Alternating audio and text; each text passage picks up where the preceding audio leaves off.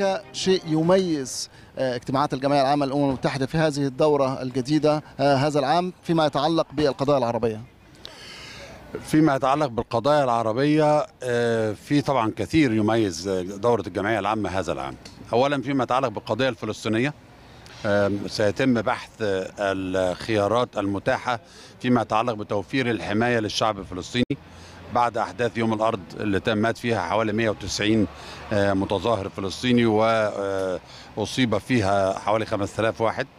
واللي ترتب عليها استخدام الولايات المتحدة لحق النقد داخل مجلس الأمن لإعاقة إصدار قرار وذهبنا للجمعية العامة وتقديم السكرتير العام لتقرير في هذا الموضوع. تضمن العديد من البدائل القادة العرب سيبحثوا هذه البدائل وسيقرروا أيها يمكن أن ندفع به كدول عربية لضمان حماية الأمم المتحدة للشعب الفلسطيني الأعزل. دي النقطة الأولى. النقطة الثانية فيما يتعلق بالمسار الجارية في عملية السلام الآن.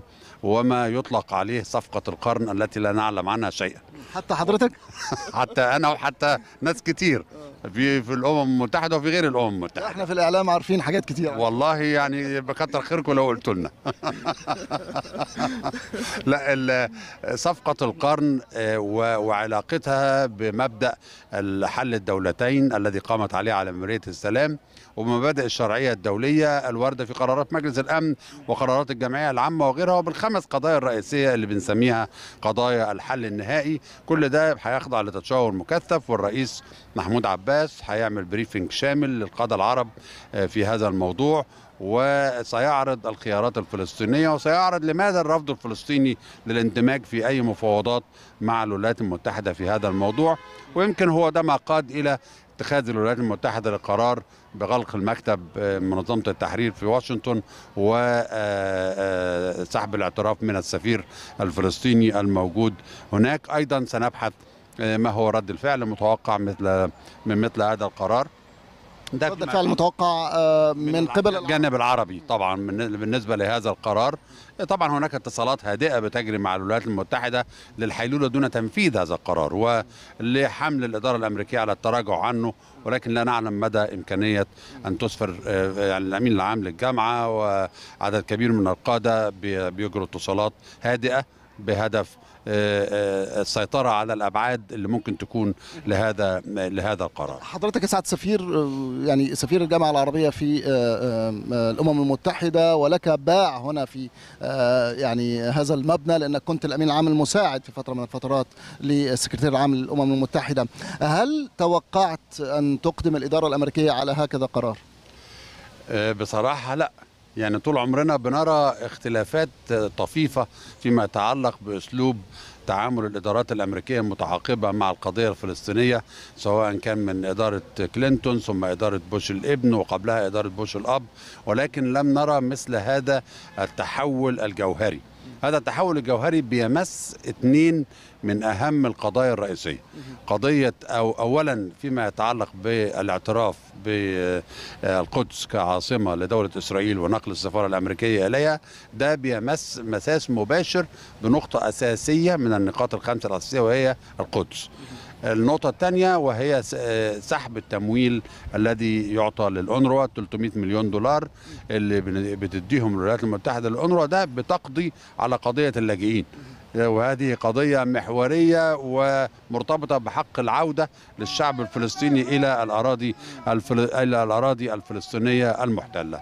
وبالتالي بحيث لا يبقى من العملية سوى بعض الأنشطة الاقتصادية والاجتماعية التي يمكن أن تندمج في أنشطة مع مصر ومع السعودية ومع الأردن ومع العدد من الدول المحيطة ويدوب مبدأ حل الدولتين وتذوب الدولة الفلسطينية ولا تقوم بعاصمة. وبالتالي لابد من التعامل بقدر أكبر من الحذر مع كل الطروحات التي تطرح إذا كانت هناك طروحات. لأن لغاية دلوقتي أنا ما شفتش طروحات إلا لو أنت هتقول لي حاجة جديدة النهاردة هكون سعيد بيها جدا. لا هو الإعلام بس يعني بيردد يعني وحضرتك أكيد أقدر وأعلم مني بذلك. لكن أرجع للنقطة اللي حضرتك أشرت إليها في البداية وهي مسألة البدائل المطروحة أو المتاحة أو التي ستطرح من قبل القادة العرب لحماية الشعب الفلسطيني. خطوط عريضة لهذه البدائل.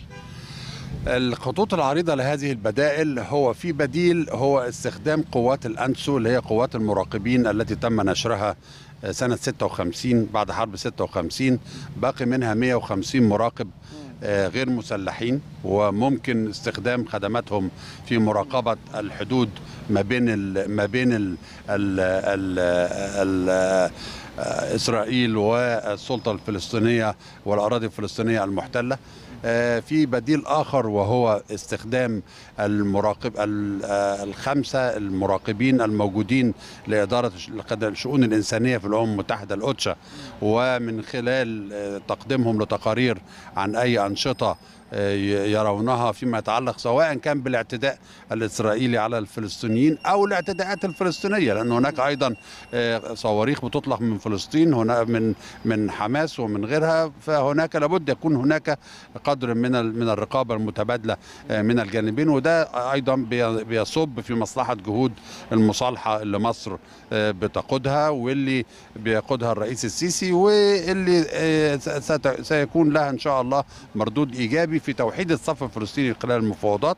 في أيضا بديل آخر استخدام قوة المراقبين اللي موجودة في الخليل من سنة 94 واسمها قوة ال TIPH T I P H وهناك بديل آخر هو استخدام ال- الموظفين الأنروا مع إلباسهم لباس مميز ودون تسليح أيضا وهم بيمارسوا آه، مهمهم لمساعدة ال- ال- اللاجئين الفلسطينيين يقدروا يقوموا بمهام المراقبة. الأمين العام طرح أنه لابد يكون في قرار جديد من مجلس الأمن أو من الجمعية العامة. إحنا بنعكف على إعداد آه، آه، عدد من العناصر بحيث إنها سيتم عرضها على الاجتماع الوزاري اللي هيعقد آه، بكرة بعد الظهر. وهيتم بعد كده عرضها على القادة العرب بحيث نشوف بدائل التحرك إيه إن شاء الله في أوائل أكتوبر آه، آه، في هذا الملف وأنتم بتعملوا يعني حساباتكم كجامعة عربية كوزراء خارجية عرب لخصوص بخصوص هذه البدائل هل شاعرين إنه الولايات المتحدة أو إسرائيل ستقف عقبه عقبة أمام تحقيق أي من هذه البدائل؟ آه، طبعا. طبعا عندنا هذا هذا الشعور ولذلك لجأنا إلى البدائل التي قد لا تحتاج إلى قرار تنفيذي من مجلس الأمن أو من الجمعية العامة. لأننا نعلم أن إنشاء قوة جديدة قوة مراقبين جديدة سيصطدم بفيتو امريكي ونعلم ان أن إسرائيل ستعارض نشر أي قوة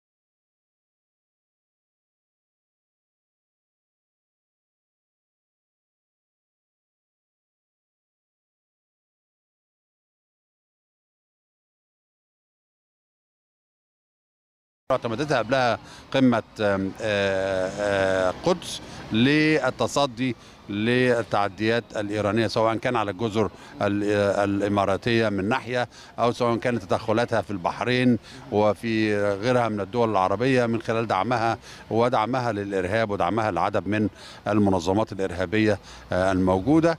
هناك أيضا موضوعات آه، ترشيحات إسرائيل في المنظمات الدولية وكيف سيتصدى الجانب العربي لهذه الترشيحات وكيف آه، كما نجحنا في إثناء إسرائيل عن إنها آه، تقدم بترشيحها لمجلس الأمن ونجحنا في إجبارها على إنها تنسحب. آه، أيضا في هناك عدد من الترشيحات هنبحث استراتيجيات هناك الكثير من القضايا ذات الاهتمام للقضايا الدول العربية. سيتم بحثها هذه الدورة وإن شاء الله تكون دورة مثمرة كبيرة.